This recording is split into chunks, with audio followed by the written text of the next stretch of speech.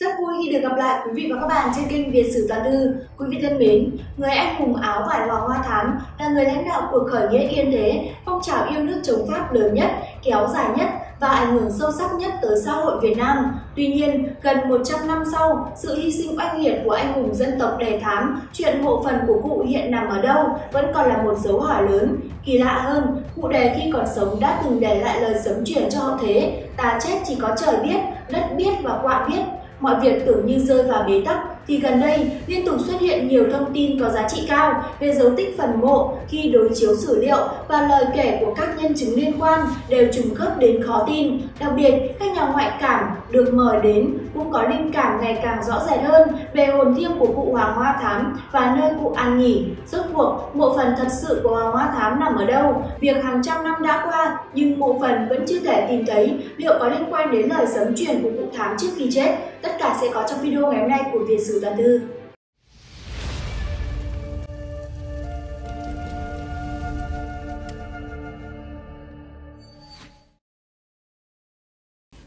Nguyên nhân cái chết của cụ Hoàng Hoa Thám đã được sách sử chép ghi khá rõ ràng là cụ bị giặc giết hại vào sáng mùng 5 Tết, tức ngày mùng 10 tháng 2 năm 1914 tại Hố Lầy, xã Tân Hiệp, huyện Yên Thế, tỉnh Bắc Giang.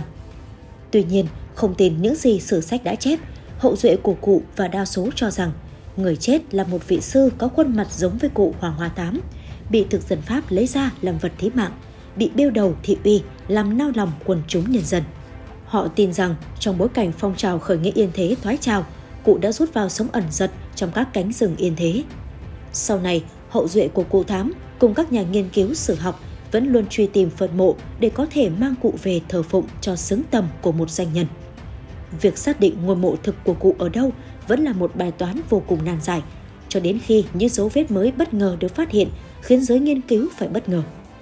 Những bằng chứng được tìm thấy tại đây rõ ràng hơn rất nhiều, nhiều bí mật cũng dần được hé lộ. Theo gia đình bà Hoàng Thị Điệp, cháu nội cụ đề thám cho hay, mới đây đã có nhiều nhà ngoại cảm nói rằng có thể cụ được chôn cất dưới một mái chùa hoặc là dưới một áng thờ. Họ còn cảm nhận được hình ảnh cụ đề thám và các tùy tùng với tần suất lớn và nhiều điều mang tính chất tâm linh khác. Điều này lại càng tăng thêm niềm tin cho mọi người về một địa điểm nghi ngờ trước đó. Vậy rốt cuộc, nơi chôn cất thật sự của Hoàng Hoa Thám nằm ở đâu? Còn bí ẩn tâm linh sợ người nào về ngôi mộ của Hùng Thiêng Yên Thế chưa được tiết lộ. Cuộc truy tìm mộ cụ đề thám được thực hiện bởi hai người cháu nội tên Hoàng Thị Hải, sinh năm 1930 và Hoàng Thị Điệp, sinh năm 1932, con gái ông Hoàng Hoa Phồn. Ông Hoàng Hoa Phồn là con trai út duy nhất của cụ Đề Thám với bà ba Đặng Thị Nhỏ. Trong những ngày nguy cấp của cuộc khởi nghĩa, cụ Đề Thám đã đem ông Phồn gửi cho một nghĩa quân của mình tên là Đề Súy ở Sĩ Cầu nhờ nuôi dưỡng.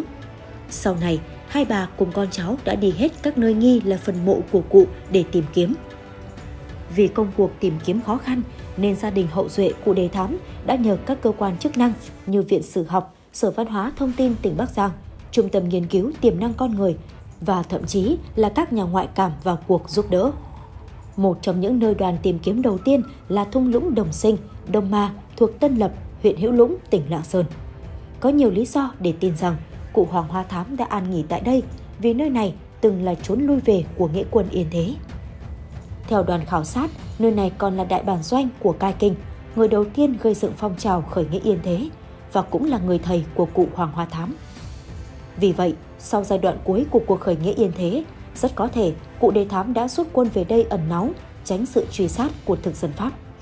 Sau 8 tháng khảo sát, cuối tháng 12 năm 2009, đoàn bắt đầu tìm kiếm ở đây. Dưới sự giúp đỡ của Trung tâm Nghiên cứu Tiềm năng Con Người, các cuộc khai quật đã tiến hành ở giữa các thung lũng và các gò cao. Thời gian đào bới tìm kiếm là 2 tuần, cùng với máy xúc và sự giúp đỡ của một đơn vị bộ đội công binh gần đó. Cuộc tìm kiếm tập trung nhiều nhất ở một chiếc gò cao giữa thung lũng, vị trí được các nhà ngoại cảm chỉ dẫn là nơi cụ Hoàng Hoa Thám yên nghỉ. Sau nhiều ngày tiến hành khai quật, trong các hố khai quật được mở, có tìm được một số dấu tích chứa gì cốt người nhưng không có thêm bất kỳ cơ sở nào để khẳng định đó là hài cốt của cụ Hoàng Hoa Thám. Vì vậy, cuộc tìm kiếm ở thung lũng Đồng Sinh, Đông Ma, Tân Lập, huyện Hữu Lũng đã tạm gác lại. Nhiều tài liệu lịch sử còn ghi lại hố lầy chính là nơi đề thám bị sát hại. Vì vậy, địa điểm tìm kiếm tiếp theo được tiến hành tại Hố Lầy, Yên Thế. Nơi được cho là có mộ cụ Hoàng Hoa Thám tại địa danh Hố Lầy nằm cuối vườn vải nhà chị Nguyễn Thị Thủy, thôn Đồng Gia, xã Tân Hiệp, huyện Yên Thế, chỉ là một khu đất bằng phẳng. Theo lời kể của chị Thủy, xưa kia đây là rừng rè, rất rậm rạp. Hồi còn nhỏ, khoảng 5-6 tuổi, thường chăn châu bò ở đây và đã thấy có ngôi mộ này và các cụ bảo rằng đây có mộ cụ để thám. Khi rừng rẻ bị chặt phá thì dân mới đến ở làm vườn. Ngôi mộ vốn được đắp cao, phía trước có tấm bia xây bằng gạch. Trong sử sách có ghi, trong phong trào khởi nghĩa nông dân yên thế, vùng hố này là một trong những căn cứ hoạt động của nghĩa quân và cụ đề thám. Cụ đề thám và hai thuộc hạ bị sát hại và bị lấy thủ cấp đưa về Nhã Nam là tại hố lầy. Tuy nhiên mấy chục năm qua, những dấu tích đó đã không còn nữa. Nơi đây cũng từng được Phòng Văn hóa, Thông tin huyện tiến hành khảo sát ngay từ những năm 1990-1991. Tuy nhiên, kết quả thu không được rõ ràng. Lại có thuyết khác kể rằng cụ đề thám mất và được chôn tại làng Trùng, xã Ngọc Châu, huyện Tân Yên. Cụ đã sống tại gia đình cụ Thống Luận cho tới khi nhắm mắt xuôi tay. Chính Thống Luận đã nuôi đề thám khi cụ bị bệnh, đã chôn đề thám khi đề thám chết. Về sau, Thống Luận còn gả con gái mình cho con trai út của đề thám là Hoàng Hoa Phồn. Ở làng Trùng cũng có một ngôi đền thờ Hoàng Hoa Thám. Ngôi đền tọa lạc trên một khu đất cao, cách đó vài trăm mét, có tấm biển ghi. Nơi đây, lãnh tụ phong trào khởi nghĩa yên thế đã sống thời niên thiếu. Cũng có thuyết cho rằng mộ cụ được chôn dưới nền đình làng Trùng. Lại cũng có người cho rằng xưa kia thống luận đã chôn cụ ngay dưới gốc cây đa để che mắt kẻ thù. Các cụ cao niên trong làng còn kể vào những năm 60, 70 của thế kỷ trước, dân làng có tát cạn ao cá đầu làng thì phát hiện một sọ người. Tuy nhiên, danh tính vẫn không thể xác định và không ai biết liệu có phải thuộc về cụ Hoàng Hoa Thám hay không. Tất cả những cuộc tìm kiếm trước đó đều không mang lại kết quả khả quan. Mãi cho tới thời gian sau này, khi phát hiện phần mộ người ăn mày bí ẩn ở Mai Trung, huyện Hiệp Hòa thì mới bắt đầu hé lộ nhiều chứng cứ rõ ràng hơn. Thực ra, ngôi mộ này không phải mới được biết đến, mà nó được phát hiện từ năm 1991. Mộ nằm trên phần đất nhà ông Đàm Văn Đường, xóm Tần Lập. Ngôi mộ này trước kia vốn được người dân biết tới là mộ của một người ăn mày đã tồn tại hàng trăm năm mà không ai biết là có từ bao giờ. Một lần, hai đứa con của ông Đường ra vườn chơi thì thấy hai khúc xương người hở ra ở phần mộ. Những người dân gần đó liền thử bới một phần mộ thì thấy một số di vật rất đáng lưu tâm như tiền cổ, quần áo và một cái liễn. Phía bên trong liễn là một lớp lá trầu đã khô, tiếp nữa là hai tờ giấy bản, trong đó có một tờ có chữ. Hai tờ giấy này được đặt trong lòng chiếc đĩa và được ốp chặt vào đáy liễn. Nội dung của tờ giấy được phát hiện là một bài thơ được phiên âm như sau. Cờ nghĩa bao năm nay lỡ phận, hậu thế nghìn năm ai biết không? Yên ngựa nghỉ vào đây lòng đất, thế sự hoàng hoa ai rõ chăng? 1913, tháng 5 ngày mùng 9, Loan. Theo những người dân, cụ chính là Lý Loan, vốn là bạn thân của cụ Hoàng Hoa Thám ngày trước và cũng là lý trưởng của làng đã viết lên bài thơ này.